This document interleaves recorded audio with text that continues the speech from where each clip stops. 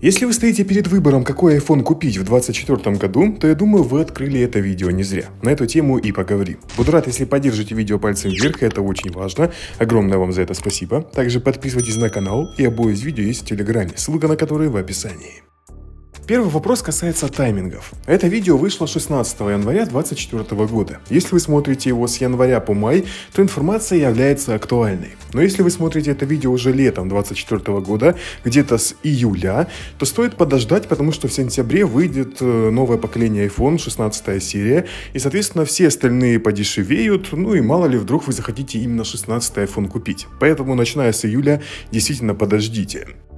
Далее точка входа в мир iPhone. Объясню, что имею в виду. Если мы посмотрим на список устройств, которые поддерживают iOS 17, последнюю систему на данный момент, то сами можете видеть, какое здесь количество айфонов. Это очень много. И какой из них выбрать, непонятно. Поэтому, если у вас никогда не было iPhone или вы думаете о переходе, например, с iPhone 8 на что-то новое, то рассматривайте покупки минимум iPhone 12 серии. Объясняется это очень просто. 12 серия имеет современный дизайн, который похож на текущее устройство Apple, плюс там отличное железо, а именно 6 гигов оперативы и процессор A14 а Bionic, который стоит еще в некоторых устройствах Apple. Плюс 12 серия имеет поддержку последних версий iOS, и она там не обрезанная, и поддержка систем будет еще несколько лет. Поэтому начиная с 12 iPhone можно рассматривать в покупке какие-то устройства. С дальнейшим подбором iPhone для 2024 года нам поможет я-каталог, потому что там есть и цены, и магазины, и характеристики, и вся необходимая информация. Так вот, если на каталоге мы посмотрим, то 13 серия и 12 серия имеют список похожих устройств. Это 13 и 12 мини, обычные 13 и 12 и Pro и Pro Max версии. Так вот, нужно определиться с форматом устройства. На мой взгляд, 12 мини и 13 мини я бы не брал в 2024 году, потому что сейчас важен контент, важны игры, важна информация, которую вы потребляете в первую очередь с вашего телефона. С большим дисплеем это, понятно, делать легче. Но если вы рассматриваете именно маленькое устройство, на вашем месте я бы покупал именно 12 мини, потому что он стоит дешевле и там железо не так сильно отличается, чтобы переплачивать за 13 мини. Даже если мы добавим 12 мини в сравнение и сравним с 13, вы можете видеть, какая тут разница в цене. То есть 12 мини сейчас на порядок, буквально в два раза дешевле, чем 13 мини. А по характеристикам вы можете видеть, что все плюс-минус одинаково, устройство действительно похоже, но динамика цен, она всегда была ровная. То есть 13 мини всегда стоил больше. Поэтому, если вам нужен маленький телефон, то именно 12 мини я бы взял. Даже SE бы не брал, а именно 12 мини с последним дизайном, с экраном на всю переднюю панель. Это тот самый идеальный SE. Но это только в случае, если вам нужно маленькое устройство. Далее в списке устройств мы можем видеть, что есть обычные iPhone просто с цифрой или с э, надписью плюс. То есть это обычные версии, которые дешевле, чем Pro и Pro Max. Их бы я тоже не рассматривал, потому что они стоят примерно как прошки прошлых поколений, но они имеют меньше функций. Для сравнения посмотрим на iPhone 12. То есть вот у нас обычный 12, и мы его сравниваем с 12 Pro. Дисплеи тут по диагонали одинаковые, но разница состоит в блоке камер, в целом в исполнении корпуса, и поверьте, это повлияет на ощущение ощущение от устройства. Разница в цене здесь действительно минимальная. Вы сами можете видеть, откуда начинается 12 и откуда начинается 12 Pro. Тут разница буквально в 100 долларов, но переплатив сотку абсолютно в разных поколениях iPhone и купив Pro или Pro Max версию, вы получите больше функций, современный дизайн и все последние технологии, которые Apple добавляет именно в Pro линейки iPhone. Поэтому, на мой взгляд, лучше рассматривать именно Pro и Pro Max. Там вы получите максимально все и не будете ограничены ни в каких последних фишках, которые появляются каждый год. Думаю, с этим определились. В 2024 году лучше выбрать Pro или Pro Max, чтобы получить все последние фишки, большой дисплей для контента и получить лучший опыт эксплуатации. Теперь о конкретном устройстве. Я покажу на примере Pro Max версии, потому что Pro и Pro Max, они в целом похожи, отличается только диагональ устройства. Какой iPhone лучше конкретно выбрать? Если вы рассматриваете Pro, вы можете перейти по ссылке в описании, добавить в сравнение Pro версии, и так вы тоже поймете, какой iPhone для вас будет лучше. Перед вами Max, начиная от 15 серии, заканчивая 12 серией. Первый вопрос, который встает, это вопрос стоимости. Здесь мы видим, цена действительно сильно отличается. То есть 15 Pro Max стоит намного дороже, чем тот же 14 Pro Max. Поэтому, если вы располагаете деньгами, лучше всегда идти к самой топовой версии, чтобы получить все актуальное на данную минуту. Но если у вас денег э, не так много, то стоит посмотреть на 12 Pro Max и 13 Pro Max. И тут сразу есть одно но. Если мы посмотрим на стоимость, то 13 Pro Max и 12 Pro Max стоят примерно одинаково, разница не такая большая. Но на 13 Pro Max у нас 55 предложений даст ей каталог, а на 12 Pro Max всего лишь 33. 12 Pro Max уже давным-давно не производится, то есть найти новое устройство запечатанное достаточно сложно. Скорее всего, это будут какие-то бэушные восстановленные варианты, возможно, с новым корпусом, замененными батареями. И плюс, если мы посмотрим чуть ниже в дисплей, то 12 Pro Max имеет 60 Гц э, частоту обновления. Это мало в 2024 году. Если вы один раз попользуетесь устройством, где 120 Гц обновления дисплея, то вы просто не захотите вернуться обратно на 60 Гц. Поэтому из-за небольшой разницы в стоимости, из-за того, что новое запечатанное устройство сложно найти, и там дисплей 60 Гц, 12 Pro Max я сразу убираю из данного списка. У нас остается только 15, 14 и 13 Pro Max. Дисплеи этих устройств действительно похожи. Тут одинаковые диагонали. Единственное, что в 15 серии iPhone сделали чуть тоньше рамки. То есть у вас на 90% больше соотношения дисплей к корпусу. Еще одна разница состоит в том, что на 14 и 15 линейке появился динамический остров, а на 13 Pro Max та самая челка. На мой взгляд, динамический остров интереснее, потому что он вам отображает некоторые функции, некоторые фишки там показываются, и iOS так как бы интегрировано больше, то есть дает лучший опыт использования.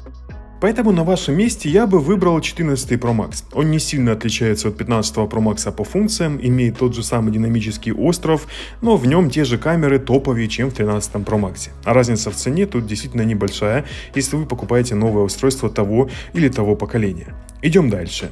Поговорим о аппаратной части. Это процессор, оперативная память и встроенная память. Процессор в айфонах это не совсем то, что стоит обсуждать, потому что неважно, 13 Pro Max это или 15 Pro Max, у вас телефон будет работать э, ну, одинаково стабильно. Вы не будете ощущать какой-то дискомфорт, используя 13 Pro Max, и не будете ощущать каких-то больших преимуществ, используя 15 Pro Max. То есть системы летают что на том, что на том процессоре. 8 гигабайт оперативной памяти у нас в 15 Pro Max, а в прошлых поколениях было по 6. Это сказывается на играх и на оптимизации системы. То есть чем больше оперативной памяти, тем легче устройству работать, это понятно. Но даже на 6 гигах последняя iOS будет работать идеально на прошлых поколений iPhone. Классное преимущество 15 Pro Max, что в базе, в самой дешевой версии, идет 256 гигабайт встроенной памяти, то есть в два раза больше в сравнении с прошлыми поколениями iPhone. И при этом 15 Pro Max стоит примерно такую же стоимость, что и 14 Pro Max стоил, когда он был новым. Поэтому за большую оперативную память и больше встроенную память 1 балл заслуженно идет 15 Pro Max. Далее камеры. И тут все отличие в основном объективе. В 13 Pro Max он 12 мегапиксельный, а в 14 Pro Max 48 мегапиксельный. То есть вы получите лучшее качество фотографий. Камеры 15 Pro Max и 14 Pro Max, они похожи. Единственное отличие заключается в том, что если на 15 Pro Max вы зайдете в камеру, и у вас есть увеличение в 5 раз без потери качества. На 14 Pro Max это в 3 раза. Но такую переплату, согласитесь, это не стоит. В остальном камеры действительно похожи, но 13 Pro Max я бы не брал, чисто из-за того, что тут 12-мегапиксельный основной объектив. Все-таки 48 мегапикселей, поверьте, вам сыграют роль, если вы часто делаете фотографии, вы оцените, насколько они качественные качественнее. Поэтому из-за стоимости и похожих камер 14 Pro Max получает 1 балл. Фронтальные камеры можно пропустить, потому что три устройства похожи. Мы спускаемся в порты подключения. Там у нас в 14 и 13 серии был Lightning, а в 15 Pro и Pro Max появился USB Type-C. Но стоит ли переплачивать, чтобы получить тоже USB Type-C? Если мы посмотрим на тот iPhone, который использую я, лично мой опыт использования, единственное преимущество, которое я там нашел, что вы можете подключить зарядку Apple Watch или AirPods и зарядить от вашего iPhone часы или ваши наушники. Ну и, наверное, еще один плюс это, что кабель, который идет в коробке, с двух сторон USB Type-C. То есть проще подключать к зарядке и к iPhone именно этот провод. Это и все отличия. Но на мой взгляд это не стоит разницы 250 долларов, поэтому я бы взял 14 Pro Max, а на разницу купил бы какие-нибудь AirPods AirPods. 13 Pro Max я бы не рассматривал, просто потому что 14 Pro Max новее, и разница в цене действительно небольшая. Следующая разница касается батареи. В 15 Pro Max самая большая батарейка, которая есть в Pro Max серии. В прошлых, соответственно, тоже батарея больше, чем в прошлых поколениях iPhone. Плюс на 15 серии появились такие фичи, которые позволят э, точнее работать с вашим аккумулятором. А именно, если вы зайдете в настройки основные, то тут внизу в информации об устройстве вы увидите количество циклов, которые уже намотались э, на батарее вашего iPhone 15 Pro Max. Плюс тут же в настройках аккумулятора у вас больше опций для сохранения процента состояния. То есть у вас разные типы зарядки. Или до 80%, или просто включение оптимизированной. На прошлых поколениях iPhone таких настроек не было. И, соответственно, батарейки там меньше. Поэтому один балл, я думаю, заслуженно идет 15 Pro Max. Еще одно отличие 15 Pro Max, что он легче примерно на 20 грамм, чем прошлое поколение iPhone. Но это вкусовщина, кому-то нравятся устройства тяжелые, кому-то легкие, при этом большие, поэтому тут на вкус и цвет. За это баллы, думаю, давать не стоит. Последнее, что предлагает e-каталог, это динамику цены. Это крутой график, который показывает, как менялась цена.